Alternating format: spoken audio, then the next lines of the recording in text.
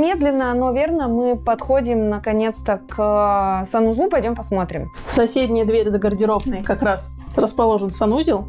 Проектируя эту квартиру, мы вообще начали именно от санузла, потому что в санузле нужно учесть минимальное расстояние, проходы и всегда начинаем мы с расположения унитаза. Угу. Потому что коммуникации протянуть далеко вы не можете, они должны быть максимально близко к стояку. Так, а получается планировка полностью была свободная, да? Потому что душ так интересно внутри расположен. Все вы сделали сами под нужды. Да, апартаменты, то есть по закону это нежилая квартира, и мы могли свободно менять границу между санузлом, гардеробной, жилыми комнатами, но, конечно, в пределах разумного, в пределах коммуникации. Поэтому мы смогли сделать ее минимально нам необходимой.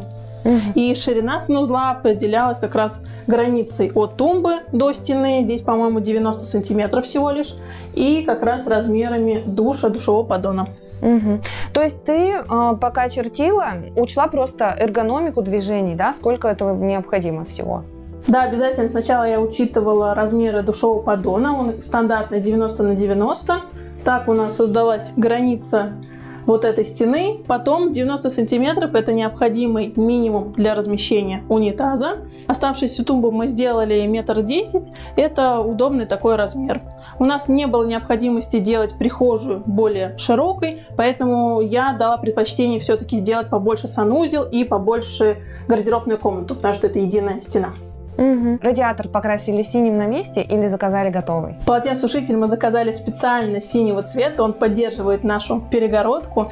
И он сделан, да, на заказ. Компания Термо спокойно красит его в любой цвет по ралу. Там, по-моему, наценка совсем небольшая чем от стандартного хромированного. Настя, ты очень круто работаешь с объемами, поэтому мне интересно послушать здесь, какие приемы ты применила, чтобы ванна оказалась больше. Первое – это цвет ванной. Мы специально выбрали плитку такого белого цвета, чтобы она выглядела как раз светлее, и сделали ванну всю в одной одинаковой плитке. Акцент мы сделали только на полу, он у нас мрамор, и если вы заметите, такой же мрамор у нас и на фартуке. У нас опять диалог пространства, объединение пространства, Угу. И получается акцент у нас только на синем цвете.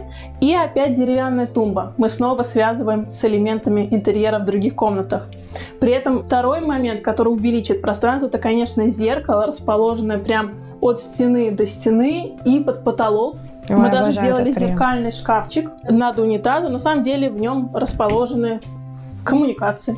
Угу. А сделали это, заказали в стекольной мастерской по нужным размерам, потом приклеили? Или заказали готовые дверцы? Шкафчик и тумба – это единственные полностью заказные изделия, но чтобы они были дешевле, мы их заказали из ЛДСП. Угу. Класс. А раковина откуда прекрасная? Большая, удобная. Раковина – это турецкая, компания Витра. Мы ее сделали подклеенную. Так более чисто. Если бы раковина была накладная, тогда возникала бы грязь, скапливалась между бортиком и раковиной. Так, окей. Во всей квартире сделан теплый пол, но Илья им не пользуется, ему хватает и так. Он ходит постоянно либо в тапочках, либо в носках, и чтобы экономить электричество. Класс.